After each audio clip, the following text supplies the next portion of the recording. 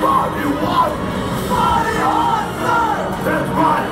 Now get your lazy ass out there and make some fucking noise! Aye, sir!